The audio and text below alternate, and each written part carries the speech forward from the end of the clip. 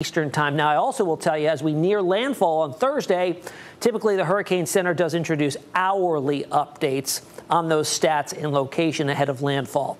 So here's a look at it on uh, satellite imagery. We're looking at the infrared filter here and why I like to use this, especially with this particular filter that with the color cord coordinated on it, is because it gives us the temperatures of the cloud tops and really tells us where the strongest convection or thunderstorm activity is. Colder the cloud tops, stronger the thunderstorms. The colder cloud tops are depicted by the shades of white, and you can see the center of Helene right there.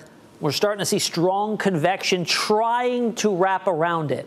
If you recall yesterday's video, this was asymmetrical, lopsided on the eastern side because we had wind shear that wind shear has really dissipated. It's moving into a more ideal environment. But notice also here on this 12-hour um, loop that we start to see a bend of the center part of a uh, Helene, a bend to the northwest. This is the Yucatan. There's Cancun and there's Cozumel. A land interaction could be a short-term disruptor here. If the core of Helene does make its way over the northern tip of the Yucatan, it's not enhanced terrain, but it is land. It'll take it away from its fuel source for at least a short period of time and likely lead to at least a slight degradation of its intensity as it enters the Gulf of Mexico. Because as I mentioned, once it gets in the Gulf of Mexico, there's nothing to really slow it down from intensifying into a big time storm before landfall in Florida. Yesterday, what was influencing it? Upper level low over uh, to the northwest of the center of, of, Helene. But we also had Hurricane John in the eastern Pacific that made landfall in southern Mexico as a major hurricane. It has really been sheared apart from the enhanced terrain in southern Mexico. Now it's just a remnant low. And since it has weakened, the wind shear from it has really lessened. I also want to show you here what may also come into play later on. We've got a little bit of some dry air on the water vapor imagery off to the northwest here. Maybe some of that gets pulled into the center of circulation. We can hope, and that would kind of choke it off just a little bit to weaken it. But I mean, these are small things that could come into play here that could weaken it, but really, you know, we're just hoping for the best, and that does uh, work to slow it down at least a little bit in its intensification. Because look at the warm water it is over. Not only is the surface temperatures of the ocean here in the Caribbean, Northwest Caribbean, mid to upper 80s, but it also extends down to a great depth, something we call ocean heat content. And when you see shades like this, the reds and pinks and magentas here, um, that increases the probability of a rapid intensification process with this storm. When you've got such deep warm water here, there's just an endless amount of fuel. When you tack that onto an ideal atmospheric profile, which it will be moving into, that could come into play. And in fact, here, when we look at the intensity forecast for Helene, the Hurricane Center does forecast rapid intensification. By Wednesday morning, we're at a Category 1 hurricane here. It may even come sooner than that. But then from there to 24 hours later, we're up to 115 mile per hour winds, Category 3 storm. That's an increase in, in sustained winds of 40 miles per hour. The definition of rapid intensification is an increase in sustained winds of 35 miles per hour or greater within a 24-hour period. So that would satisfy that criteria. Again, we'll probably see it overperform. So we've got the ingredients there. We've got the very warm water temperatures, at least 80 degrees, well above that. A low wind shear environment. We had this year yesterday. That is gone. And an ideal upper air setup. So we've got inflow at the surface, right? And we need outflow aloft. So we need that ideal environment for it to ventilate property, properly, for it to stand up and have good posture as it builds to the north and northwest and eventually to the north and northeast towards Florida. So it can take advantage of an ideal atmospheric setup. So here's a look at this storm uh, forecast cone from the Hurricane Center. Again, off of the 8 o'clock advisory. This is the 5 p.m. track, though. Does forecast a Category 1 storm by Wednesday afternoon. I think we see it before then. But nonetheless, I want to draw your attention to the bend here to the northwest with the forecast cone as well. And that's interesting because when you look at the spaghetti plots, the clustering here has shifted a little bit farther to the west. More members are favoring at least a minimal land interaction here near Cancun.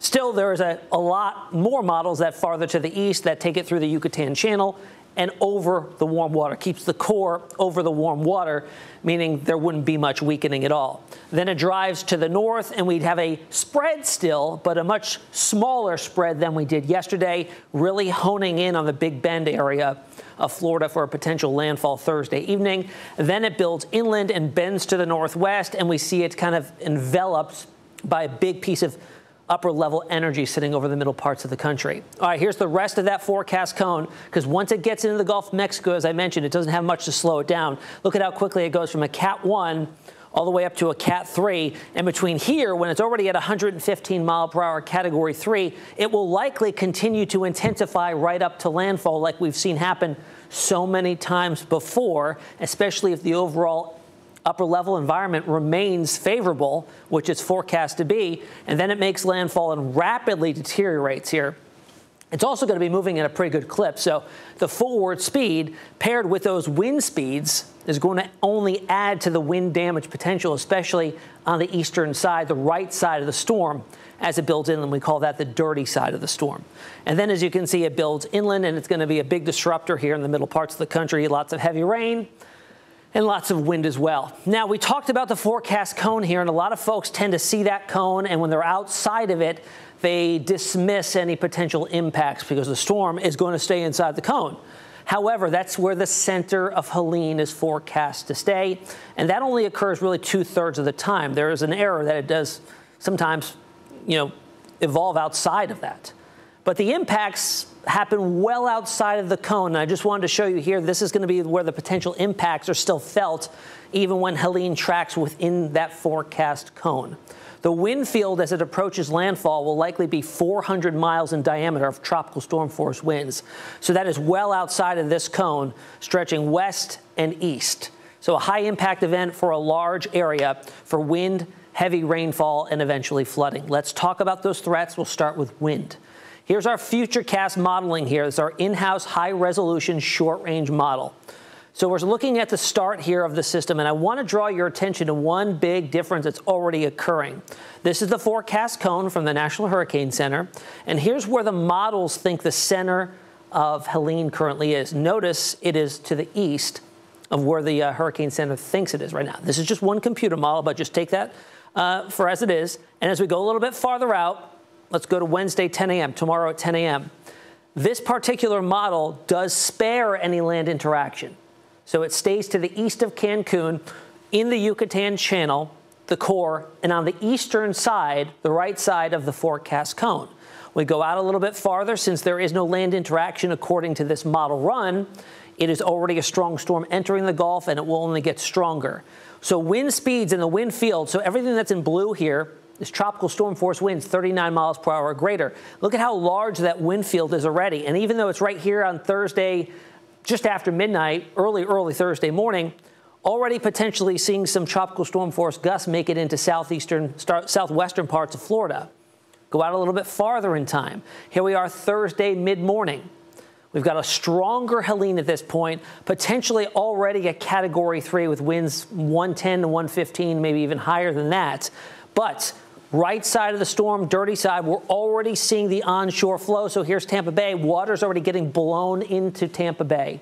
Storm surge values will be very high all along the southwestern Florida coast. Go a little bit farther out in time, 3:15 in the afternoon on Thursday. Larger storm, Cat 1, maybe even Cat 2 winds approaching the Florida coastline. Again, this is to the west of the Florida's west coast, so we've got the onshore winds blowing all that water onshore and bring the storm surge values up. Here we approach landfall. This particular model brings a landfall right in the Taylor County in Florida as a category three. Prepare for a category higher. It can certainly overperform. We've got widespread gusty winds here in excess of 100 miles per hour. And then even going out into the pre dawn hours of Friday, after it's well inland, we're looking at central and southeastern portions of Georgia that are seeing a ton of wind here. This is why it's going to be a big power outage generator down to Savannah, Macon, maybe even in the uh, suburbs of Atlanta, getting up into South Carolina as well. And then the wind speeds will go down, but it's just drifting north and it's still going to be affecting a lot of folks as it drifts to the north and eventually weakens. Now let's talk about rainfall potential here. Manageable totals through Florida. At least in the southern portions of Florida, south and central Florida. However, getting up into the peninsula and certainly into Georgia, the, the problem really starts to get emphasized when that tropical moisture butts up against the increased terrain of the Appalachians. We see a ton more rain as all that tropical moisture is forced to converge and comes into tropical downpours. So we could be looking at a half foot, maybe some areas seeing a foot of rain, despite the storm not slowing down like we've seen a lot of times. If this were an instance where we're slowing down, we could triple these numbers. Thankfully, we're not, but still with a fast movement, we're still picking up 6 to 9 to 12 inches of rain potentially. All right, that's the latest on Helene. We also have one other, not a storm yet, but an area we're watching to likely become the next storm, Isaac. 80% chance of that happening within the short term. That's a 50% chance. So we've got Helene already. Isaac is up next, and potentially Joyce and then Kirk. So that's the latest out here on Tropical Storm Helene. Next time we talk, it'll likely be a hurricane. I will see you tomorrow. If you have any questions on this, you can always reach out in the comments or find me on social media Facebook, Instagram, X, or TikTok. We'll see you Wednesday.